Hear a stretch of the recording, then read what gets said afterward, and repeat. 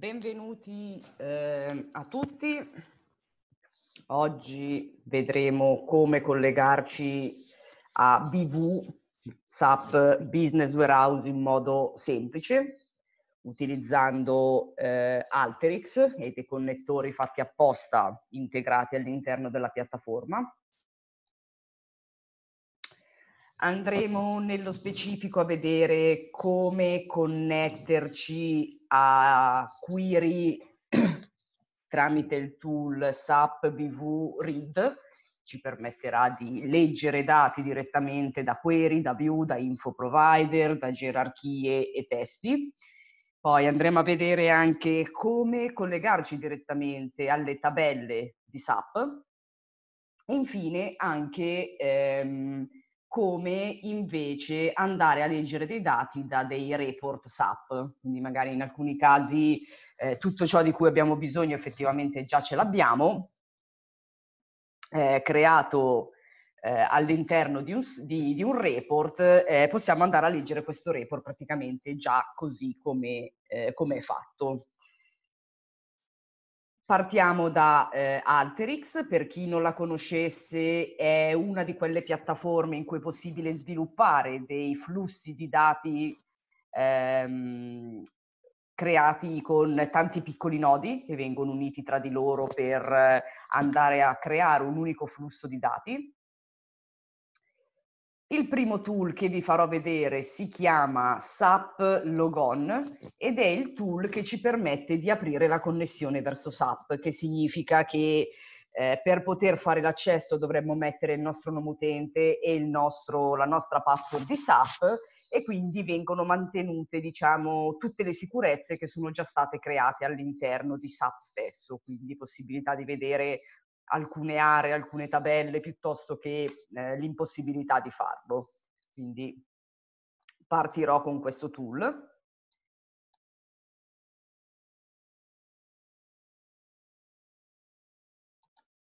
Vado ad aggiungere i due sistemi che utilizzeremo. Uno è proprio il sistema BV e in questo caso ho già settato nelle opzioni che voglio che mi venga eh, salvato lo username e la password poi andrò anche ad abilitare come secondo ehm, ehm, ambiente anche il CRM perché vedremo per, nell'esempio di analisi che faremo andremo a recuperare i dati dei partner, quindi dei negozi direttamente nel CRM, quindi vado ad abilitare l'input verso tutti e due. Faccio un ping dei server per vedere che tutto sia effettivamente a posto, posso raggiungere entrambi i server, quindi siamo ok con la connessione.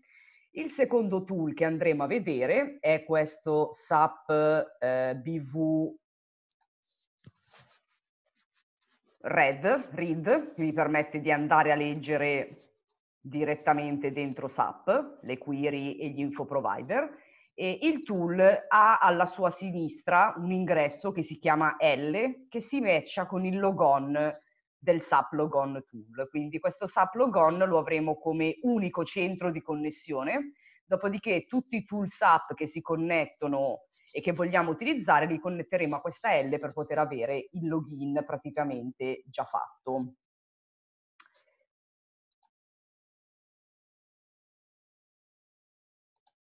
Nella tab Basic vado a scegliere ehm, l'ambiente a cui voglio connettermi, in questo caso sarà il BV System, e andrò a cercare eh, una query a cui ci, ci andremo a connettere. Eh, clicco su Search mi si apre questo menu a tendina in cui ho praticamente tutti gli info provider e tutte le query a cui io ho effettivamente accesso. Se sono abituata a vedere le etichette, qua in basso possiamo scegliere i text, se siamo invece abituati ai nomi tecnici possiamo far apparire anche le key, quindi il nome, proprio il nome tecnico. Abbiamo un menu a tendina dove possiamo settare dei nostri preferiti, possiamo suddividere eh, la visualizzazione per folder o in history abbiamo gli ultimi che abbiamo utilizzato recentemente. Io so che eh, l'elemento che voglio effettivamente andare a leggere eh, si chiama, inizia con Z, poi ha qualcosa nel mezzo e il nome finisce con demo, quindi posso scrivere Z asterisco demo e fare una ricerca con carattere jolly per farmi elencare, in questo caso abbiamo due query che contengono questo nome e andrò ad aprire l'order overview demo. Quindi possiamo fare delle ricerche anche con carattere jolly. Una volta che deciderò a eh, quale effettivamente ehm, elemento voglio andare a connettermi ad aprire, uscirà questa schermata dove abbiamo praticamente quei campi per i quali già all'interno della query è stato scelto eh, che debbano essere utilizzati come parametri. Se vediamo arancione vuol dire che il tool si aspetta che io vada a inserire qualcosa, dove abbiamo l'indicazione mand, mandatory, sono quei campi che vengono settati come obbligatori all'interno di SAP stesso. Quello che possiamo fare eh, nelle due colonnine low key e high key, se sappiamo già i valori, ad esempio voglio prendermi l'anno 2015, lo posso scrivere già direttamente, oppure se non so effettivamente che cosa devo mettere o non mi ricordo eh, quali sono i valori che ci sono dentro, posso cliccare con il tasto destro e fare Edit Filter Item. Ci si aprirà questa finestra in cui possiamo vedere tutti i, eh, i valori. E eh, abbiamo gli operatori classici eh, che troviamo dentro SAP, equal, greater than, in list, contains, possiamo decidere se il filtro deve funzionare in modalità includi oppure escludi. E in questo caso io andrò a prendere solo due tipi di transazioni che sono il WECO, quindi seleziono il, um, il più per aggiungerlo, ma non voglio la modalità equal to, voglio la modalità in list. Quindi in realtà vado a fleggare tutti gli elementi che voglio tenere. Ora sappiamo che SAP, eh, proprio per eh, ehm, come funziona lui in modo standard, contiene molte limitazioni, soprattutto per tool esterni che tentano di eh, reperire dei dati. Quindi se creiamo delle query che sono troppo grosse, il rischio è quello che ehm, venga, eh, la nostra query venga bloccata perché stiamo effettivamente richiedendo troppi dati. Possiamo utilizzare questa funzionalità split che può essere implementata nei filtri per dire a SAP che vogliamo fare una prima query solo per gli elementi che sono B e CO e una seconda query per gli elementi che sono solo ZISC. In questo modo possiamo becciare la richiesta, non andiamo mai oltre quello che è il limite di, di SAP e poi il tool in realtà ci eh, restituirà il risultato già eh, unito dei due batch. Quindi non è che ci ritroveremo con due file separati che poi dobbiamo in qualche modo rimettere assieme, verrà rimesso assieme direttamente dal tool. Quindi io adesso clicco su split, clicco su ok e se lo mando in esecuzione potremo vedere nella mm, log che le nostre richieste verranno splittate e becciate in base al valore di quella colonna che abbiamo scelto di utilizzare come split. Vedete, abbiamo lo split 0102 che mi ha tirato giù 24 record e poi uno split 2.2 che ha tirato giù altri 73 record. In questo modo abbiamo chiesto delle mini eh, query a SAP e questa cosa ci permette di andare un po' oltre quello che è il limite delle richieste massime che possono essere fatte all'interno di SAP il risultato che ci viene dato comprende già entrambe le, eh, le tipologie di, di, transazione che avevamo scelto, quindi le split poi ce le rimette già subito insieme. Se mi sposto nella tab Selection, possiamo selezionare effettivamente quali colonne vogliamo andare a estrarre, quelle che vediamo già selezionate sono quelle che sono state create eh, direttamente da chi ha fatto questa query, volendo possiamo anche selezionarne altre. E se andiamo ad aprire le strutture ad albero dove vediamo dei più, per alcuni campi possiamo anche andare a scegliere i text, quindi i testi, ad esempio lo posso fare per il partner number, voglio il default test, e per alcune tipologie di campi possiamo anche andare ad aprire le gerarchie e andare, vedete ad esempio il country ha una gerarchia con la country selection.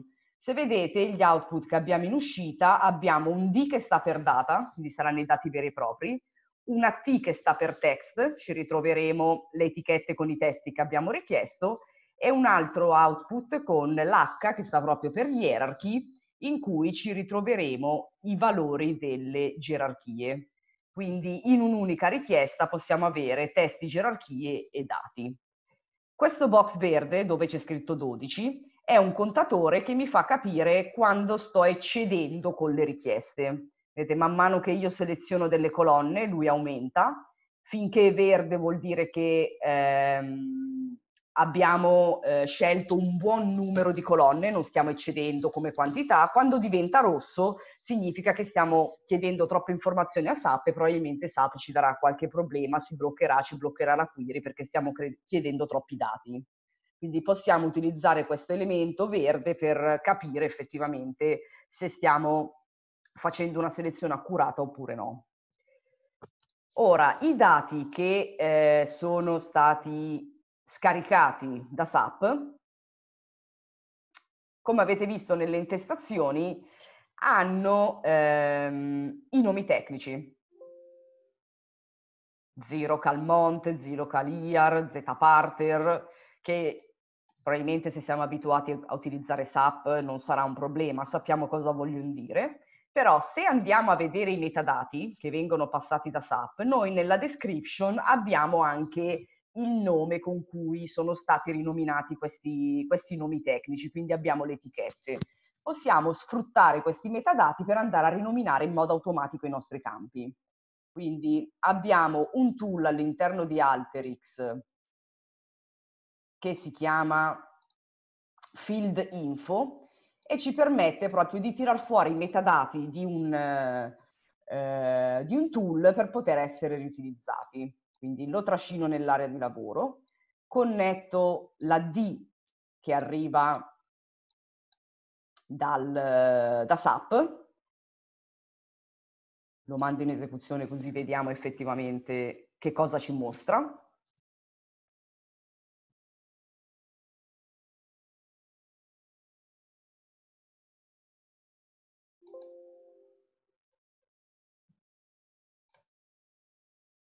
Possiamo sfruttare questa colonna description per andare a rinominare automaticamente i campi che arrivano dal connettore D.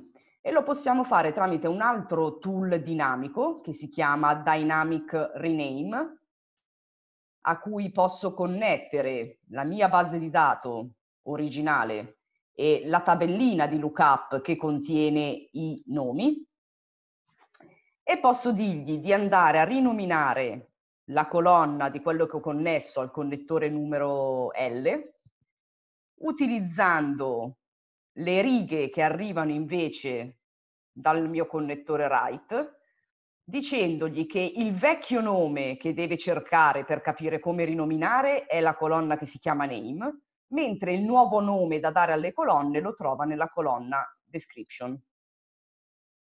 In questo modo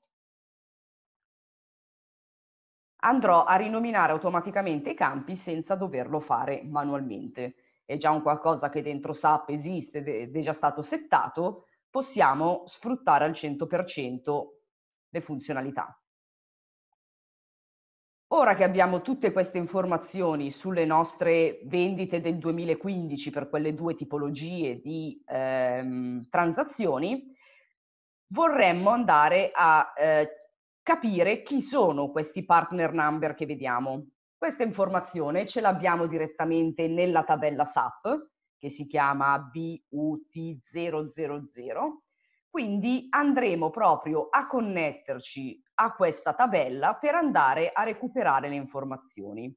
Abbiamo un tool che si chiama SAP Table Data gli connetto come al solito la NL per passargli i miei dati di login, gli dico che voglio lavorare questa volta nell'ambiente CRM perché è qui che, sto, che ho le informazioni che mi servono.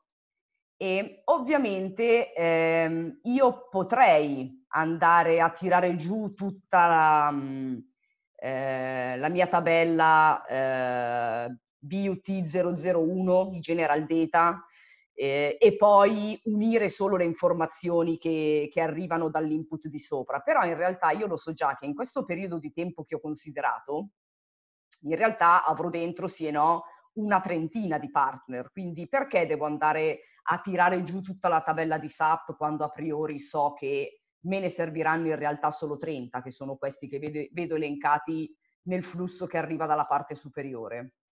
Possiamo sfruttare questo connettore S, che sta per selection, per creare dei filtri dinamici che arrivano direttamente dal mio flusso. Quindi partendo dal eh, mio flusso superiore, posso andare a crearmi una sorta di elenco univoco di quelli che sono i partner che voglio cercare dentro eh, la tabella di SAP, quindi utilizzare questo summarize che mi permetterà di fare un group by partner number e ottenere un elenco univoco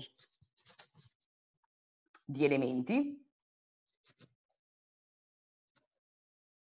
che sono nello specifico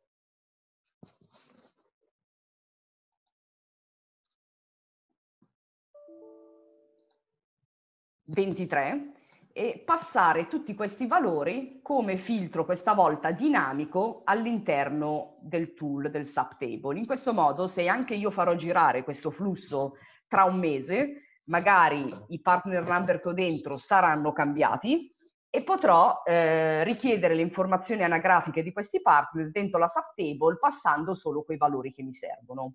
Iniziamo ad impostare eh, il tool come se volessimo fare un, fil un filtro manuale per capire la sintassi di cui abbiamo bisogno. Adesso vado a cercare la tabella che mi serve, che è la BUT 0001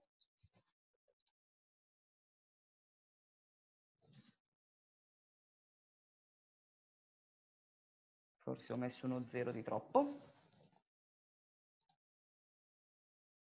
Ok. Anzi, facciamo la 000, facciamo general data 1. Ok.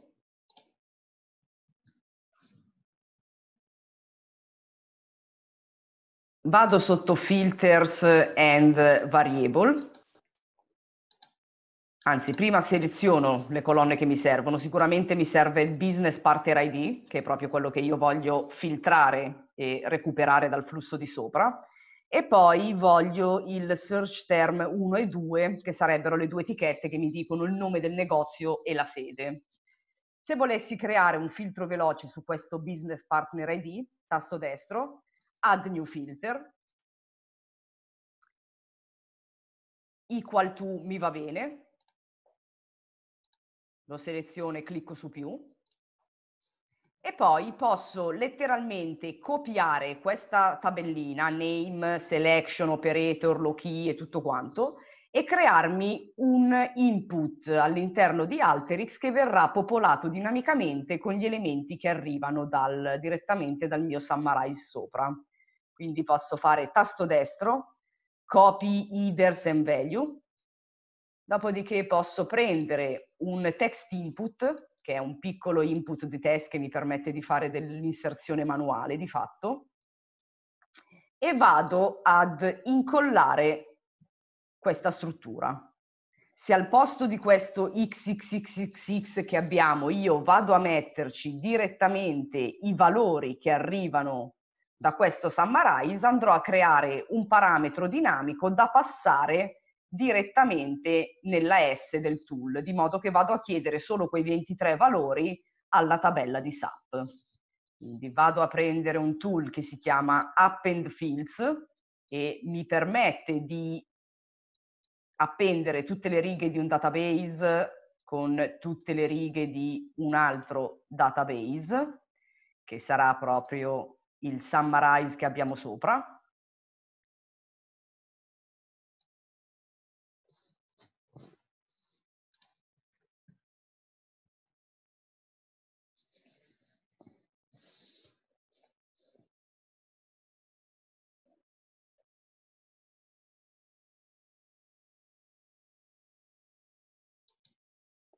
Ha ragione anche lui. Mi sta dando un errore perché l'operazione che ho fatto creerà la duplicazione di più di 16, 16 righe. Devo disabilitare l'opzione di, di permettermi di fare tutti gli append di cui ho bisogno.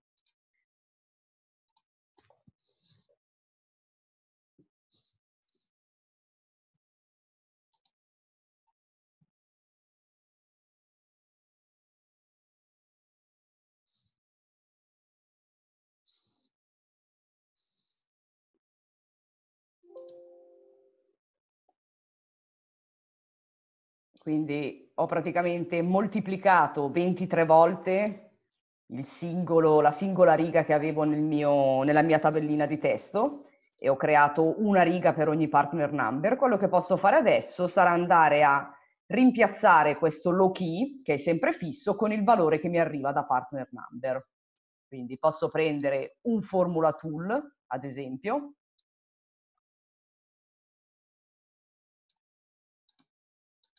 andare a sovrascrivere la colonna low key e al posto di tutte quelle X voglio ricopiarci dentro quello che trova scritto nella colonna partner number. Vi vado a fare praticamente uno switch delle due colonne. E poi la colonna partner number la cancello perché in realtà non mi serve più. Il mio low key ha già acquisito quei valori. Quindi adesso posso inserire questo flusso all'interno del parametro S. Abbiamo una tab che si chiama Dynamic Input. Se, come ho fatto io, il nostro input ha già i nomi name, selection, operator, li prende da solo, altrimenti i titolini della piccola base di dato che ho preparato potrebbero anche chiamarsi diversamente, poi però dobbiamo avere l'accortezza di venire a mapparli qua dentro. E se adesso mando in esecuzione, dalla nostra tabella BUT 000 avremo solo quei 23 elementi che effettivamente volevamo cercare.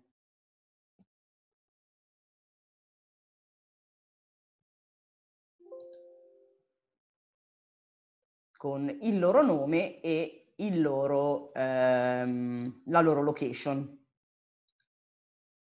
Quindi ora che ho recuperato queste due informazioni, la voglio unire alla mia base di dato principale, voglio aggiungere le due colonnine con la location e il nome, posso ancora una volta sfruttare un altro tool che fa parte della tab join, questa volta si chiama join e ci permette proprio di fare una join tra due basi di dato, che per chi non conosce database è un po' come il cerca verticale in, in Excel, quindi posso dirgli che voglio prendere le righe che arrivano dal flusso left e unirli alle righe che arrivano dal flusso right, andando ad abbinare quelle righe che hanno lo stesso partner number, che in una tabella si chiama partner number, nell'altra tabella si chiama partner e basta. Quindi andremo ad abbinare ad ogni partner il suo nome e la sua location. Una volta che eh, abbiamo finito di ehm, estrarre i dati da SAP, è probabile che ci metteremo a fare un po' di data preparation e altre operazioni all'interno di Alterix. Eh, se non vogliamo andare a lanciare una query tutte le volte verso SAP, possiamo chiedere ad Alterix di cacheare il flow localmente di modo che da adesso in poi, quando andremo a mandare in esecuzione il flusso, non andremo più a chiedere i dati direttamente a SAP, ma i dati verranno salvati localmente in modo temporaneo all'interno del nostro computer. Vedete, sotto questa cartella temporanea è stata creata questa cache, Da adesso in poi, quando io andrò avanti con il mio flusso, non starò più chiedendo i dati da SAP, ma ce li ho già in locale. Vedete, si frizzano all'interno di queste specie di cubetti di ghiaccio e li possiamo utilizzare. Quindi, ad esempio, non so, voglio utilizzare un select per andare a tirare via alcune colonne che non mi servono a nulla, tipo il partner text o il partner counter text. Questi view sort 1 e 2 li voglio rinominare come nome e location. Vedete adesso è estremamente veloce, ci metteremo pochissimo a fare qualsiasi operazione perché siamo in locale. Potrei anche ad esempio prendere la data che è fatta in questo formato che non è esattamente un formato data, e utilizzare un tool che si chiama Date and Time, che ci permette di fare conversioni da stringhe di testo a date e viceversa. Quindi il mio calendar date mi basta cercare qual è il formato in cui è fatto, ed è questa penultima opzione, l'anno a quattro mesi, a quattro cifre, il mese a due cifre, il giorno a due cifre, e crearmi la mia colonna con le date vere e proprie. E poi magari potrei utilizzare di nuovo questo tool, questa volta per fare l'opzione contraria. Da date and time voglio andare a crearmi una stringa che chiamerò anno mese e la voglio formattare come mont, virgola, y, y, y. Quindi avremo l'indicazione del mese dell'anno e poi voglio farmi un aggregato che per anno mese e per ogni location e name mi riporta il totale eh, del net value. Quindi posso utilizzare ad esempio un summarize, chiedere di raggruppare i miei valori per nome e per location e anche per anno mese e farmi una somma del net value.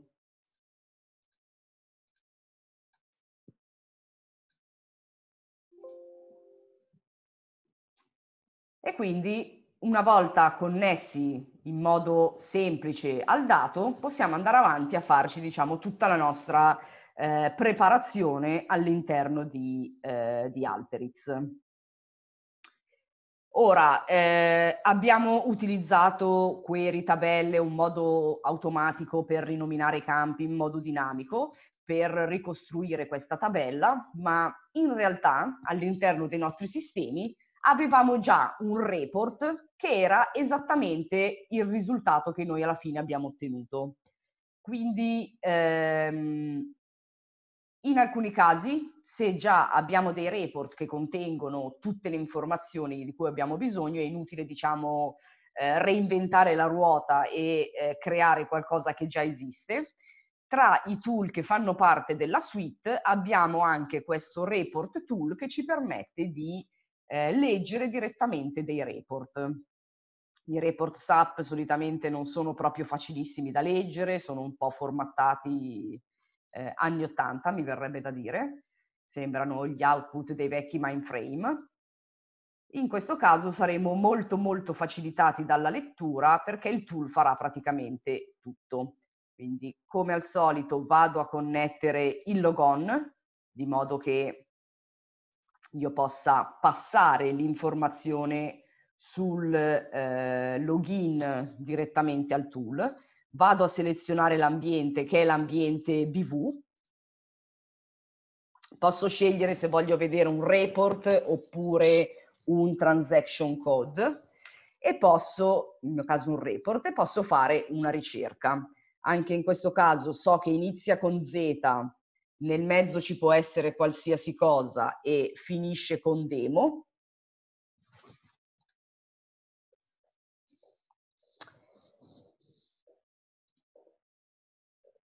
e andiamo a scegliere il report che vogliamo aprire. Possiamo avere anche eh, delle varianti di questo report. Il tool autom già da solo capisce qual è il carattere separatore perché gli viene passata l'informazione direttamente da, eh, da SAP. Quello che possiamo fare è spostarci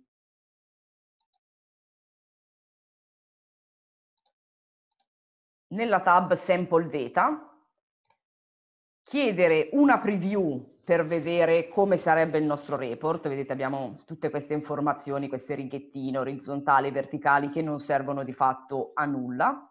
Posso fare tasto destro su quello che corrisponde alla riga che contiene i nostri titoli e aggiungere questa informazione dicendo che questo è il leader della nostra tabella.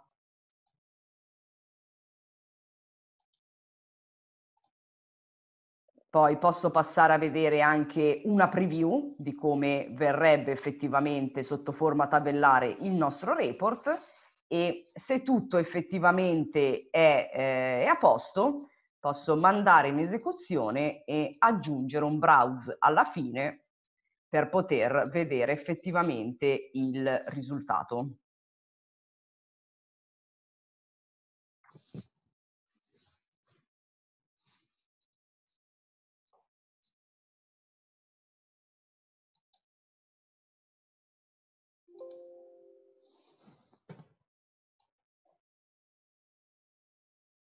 Adesso abbiamo scelto ovviamente di tirare giù tutte le informazioni. Volendo, sotto la tab Fields possiamo decidere quali colonne effettivamente vogliamo mantenere e quali non ci servono e se abbiamo la necessità di creare dei filtri, possiamo anche aggiungere dei filtri per vedere il nostro report di fatto eh, filtrato e non completo al 100%. Quindi grazie a questi tool abbiamo visto quanto sia eh, semplice connettersi a SAP. Eh, di fatto l'interfaccia che vediamo è al 90% uguale all'interfaccia che siamo eh, abituati a vedere eh, tutti i giorni su, su SAP. Abbiamo la possibilità di fare delle richieste splittate che ci permettono di non andare contro a quelli che sono i limiti imposti da SAP stesso rimaniamo sempre all'interno della stessa area di lavoro, quindi non è magari come succede adesso che avete eh, tante piccole estrazioni che vi tirano fuori tanti piccoli file Excel, che però sono file Excel che magari hanno dentro 5.000, 6.000 righe di dato l'uno e quindi poi per poterli utilizzare eh, Excel stesso non ce la fa, si blocca, si ehm, crash e succedono cose del genere. Qua invece rimaniamo diciamo sempre all'interno della stessa area di lavoro e una volta che abbiamo finito di fare la parte di estrazione possiamo anche cacheare il nostro risultato e andare avanti a fare tutta la data preparation di cui abbiamo bisogno in modo semplice, senza eh, dover inserire nessun tipo di script, sono tutti tool eh, che hanno, vedete, un'interfaccia, la cosa più difficile probabilmente sono le formule, poi per il resto sono tutti tool che hanno un'interfaccia eh, utente e per il quale non, eh, non, non richiede diciamo, nessuna tipologia di, eh, di scripting.